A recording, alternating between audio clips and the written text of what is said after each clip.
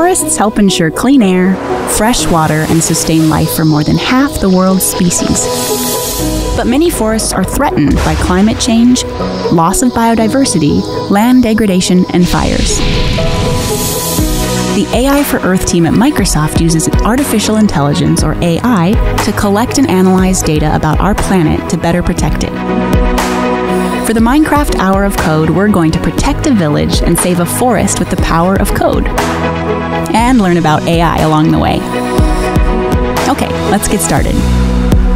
First, make sure you download the Minecraft Education Edition app. If you are licensed for Minecraft Education Edition and have an Office 365 for Education account, sign in and navigate to the Hour of Code lesson in the library. If you don't have an account yet, that's okay. Go ahead and click Start Lesson. You'll land right in the 3D Minecraft world. And this is where the fun begins. Start by learning to move using the keyboard and mouse or touch commands. When you see an NPC or non player character like this fella, right click to read what they have to say. This starts a tutorial. For help with reading in other languages, click on the book icon to open Immersive Reader. You'll then follow the path through eight different quests that will teach you the basics of coding while using AI to help prevent forest fires. Happy coding!